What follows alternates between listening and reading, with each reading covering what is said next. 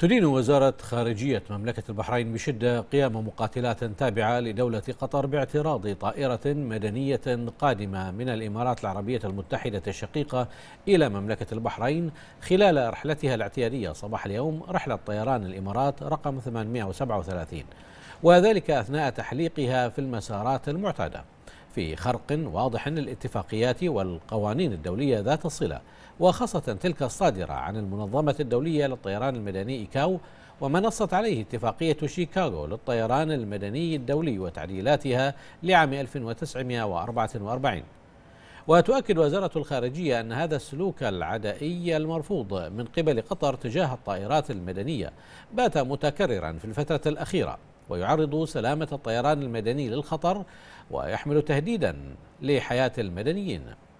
وتشدد وزارة الخارجية على وقوف مملكة البحرين إلى جانب الإمارات العربية المتحدة الشقيقة ودعمها لكل ما تتخذه من إجراءات للحفاظ على أمنها واستقرارها ولوقف هذه الخروقات وصد هذه الانتهاكات من قبل دولة قطر. هذا وقد أعلنت الهيئة العامة للطيران المدني في الإمارات أن مقاتلات قطرية اعترضت طائرة تابعة للخطوط الجوية الإماراتية خلال رحلتها الاعتيادية المتجهة إلى المنامة. وذكرت الهيئة في بيان لها أن الرحلة المذكورة هي رحلة اعتيادية مجدولة ومعروفة المسار ومستوفية لجميع الموافقات والتصاريح اللازمة والمتعارف عليها دولياً.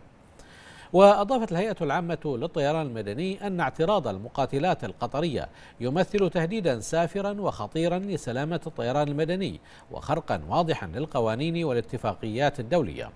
وأكدت الهيئة أن دولة الإمارات العربية المتحدة ترفض هذا التهديد لسلامة حركة الطيران وستتخذ جميع الإجراءات القانونية اللازمة لضمان أمن وسلامة حركة الطيران المدني. ويستمر التصعيد القطري لكن هذه المرة ليس على المستوى السياسي أو الإعلامي بل هو تصعيد عسكري بامتياز بعد أن أقدمت مقاتلات قطرية باعتراض طائرة مدنية إماراتية أثناء رحلتها إلى المنامة.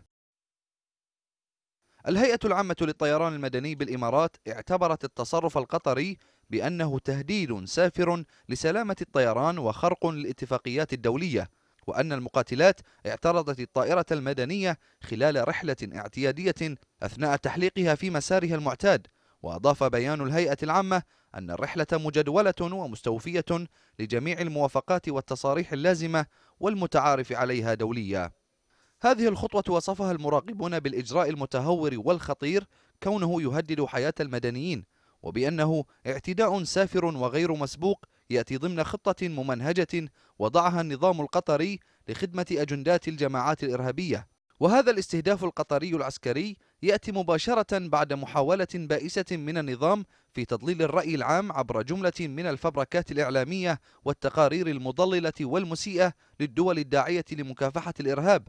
أعقبت ادعاءات قطرية باطلة باختراق الإمارات مجالها الجوي. وهو ما تم الرد عليه بالأدلة التي دحضت تلك الافتراءات التي ساقها نظام الدوحة.